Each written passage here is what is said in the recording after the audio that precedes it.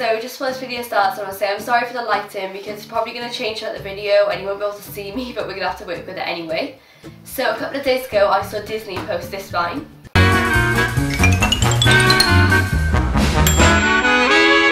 So that inspired me to make my very own Hidden Mickey cake.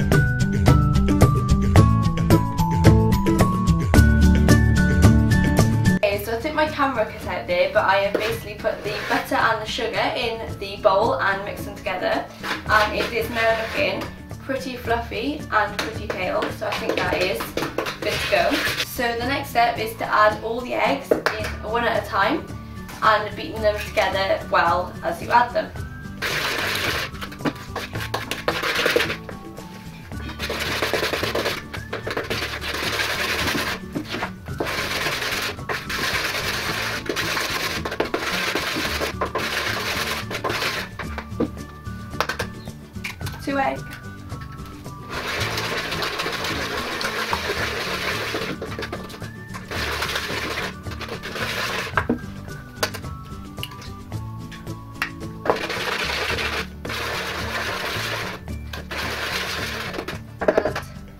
Egg.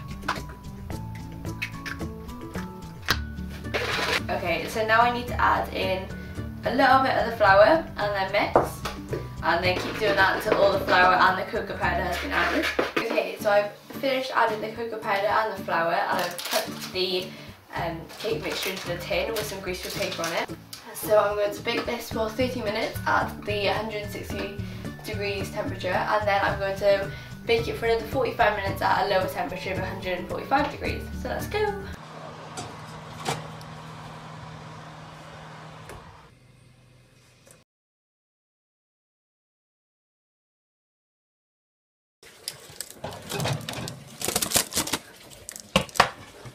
Okay, so it's an hour later now and the cake has come out of the oven and it looks pretty good I think. And I've taken the top off it just to level out a bit. This bit's part, this bit's like fallen off. I've taken the top off just to level it off a little bit. I've got a knife here so we need to cut it into little square pieces and then take a Mickey cutter through it. So let's try and cut it into like really small pieces. And get as many cuts out of it.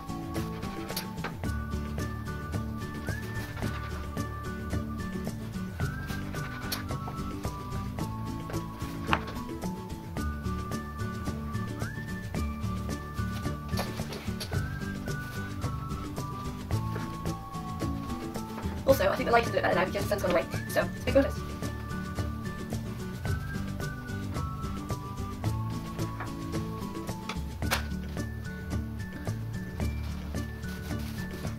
Okay, so I need to take my piece of cake and my Mickey cutter.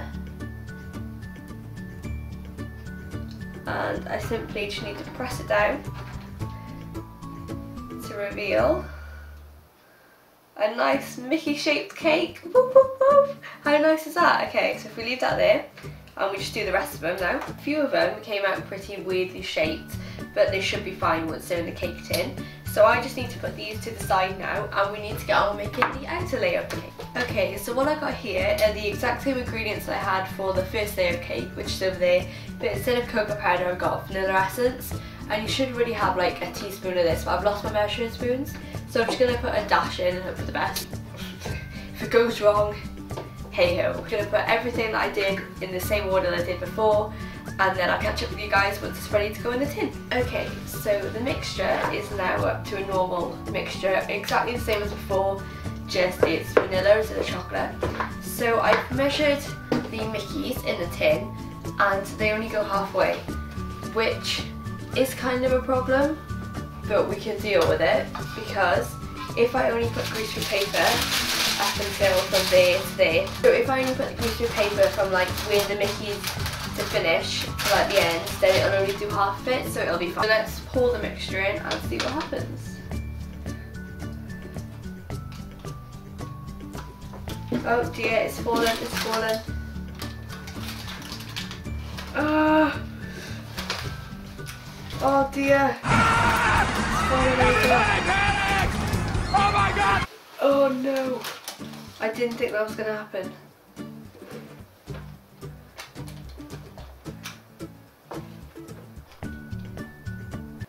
Wait, How is this going to go on the bottom of the cake? Oops. I didn't really think this was through. Literally, that fighting made it look so easy.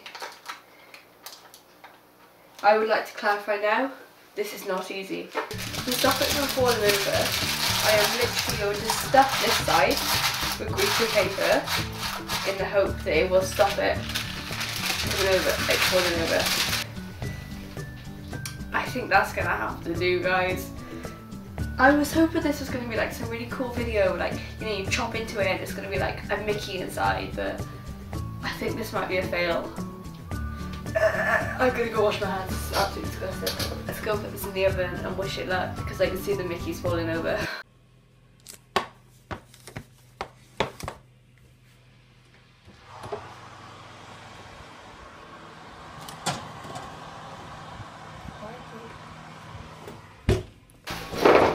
Okay, so it's a lot later now and I've got my cake out the oven.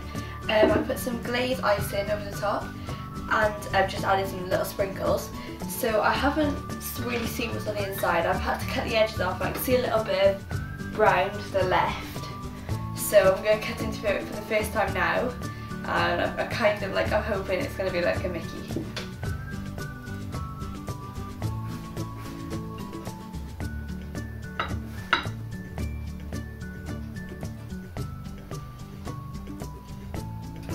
That actually looks like a Mickey. Oh, that is really cool. That actually looks like a Mickey. That is impressive. If you guys enjoyed this video, you can click on the end slate in the next bit to subscribe and see my last video, which was me playing Agar.io. All my links are here or in the description, and I will see you next week. Bye!